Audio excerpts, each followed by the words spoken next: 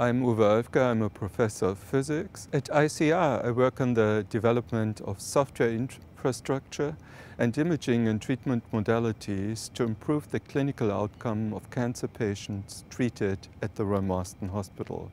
In medical physics, translational research often requires a strong industrial partner.